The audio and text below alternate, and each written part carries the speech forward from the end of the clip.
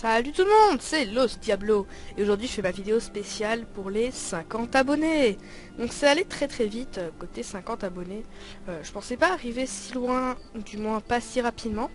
Donc je remercie beaucoup Glitch, Hack et Fer, c'est euh, en partie grâce à eux que j'ai eu tous ces abonnés. Donc je vous remercie vous aussi pour votre soutien.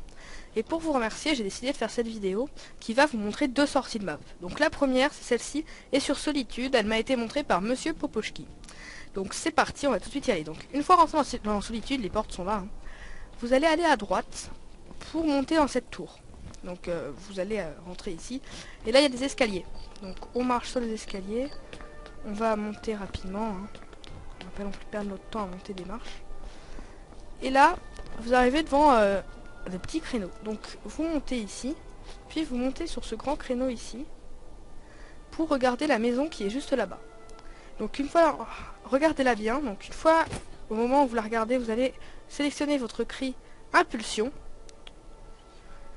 Et viser un tout petit peu plus haut pour atterrir sur euh, le petit endroit que je fixe pour le moment. Donc vous visez comme ceci et vous lancez impulsion. Lance Donc une fois ici, vous allez monter sur ce petit euh, rebord.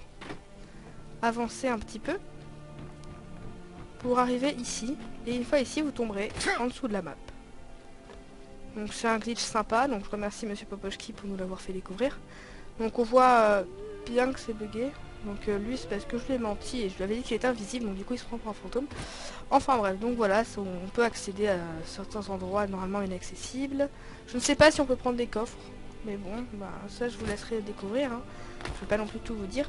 Et on va tout de suite aller à Vendôme. Donc je le fais en vidéo cette fois parce que... Euh, parce que voilà, je suis un rebelle. Et surtout parce que je vais beaucoup parler donc en fin de vidéo et, et j'ai pas envie de me prendre la tête avec tout le montage. Donc c'est parti, car sinon ce serait bien trop long. Donc déplacement rapide vers Vendôme. On voit un super bouclier. Parer à l'aide d'un bouclier ou d'une arme permet de repousser une attaque et de déstabiliser l'assaillant. Donc euh, oui, c'est un peu logique en même temps. Alors, on va y aller. Euh, c'est un glitch qui permet de sortir de fantôme et c'est sûrement le plus simple de tous les glitches de sortie de map. Vous allez voir pourquoi. Moi j'ai trouvé ce glitch enfantin. Euh, ça s'appuie sur... Euh, comment, dire Un bug, un bug ou un oubli des développeurs plutôt. Puisque les développeurs ont tout simplement oublié un mur invisible à Vendôme. Donc une fois à Vendôme, vous arrivez normalement ici. Donc là il y, y, a les portes.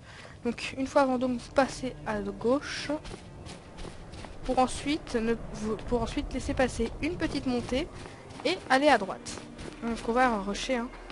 Donc vous devrez arriver dans une petite place comme celle-ci et avancer euh, droit devant vous. Donc ils m'engueulent parce que je les ai poussés.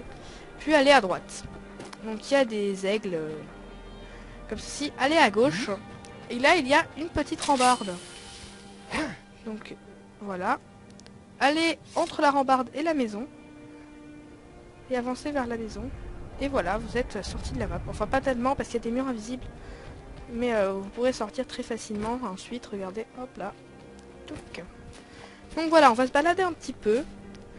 Euh, et je vais dire ce que j'avais à dire. Donc euh, je remercie beaucoup tout le monde, tous ceux qui me soutiennent régulièrement.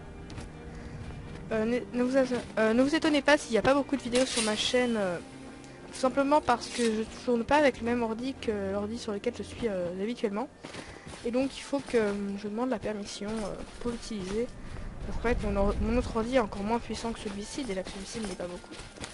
Et donc voilà, il faut absolument que mes chers, mes chers parents me laissent utiliser leurs ordinateurs pour jouer à Skyrim et tourner ces vidéos.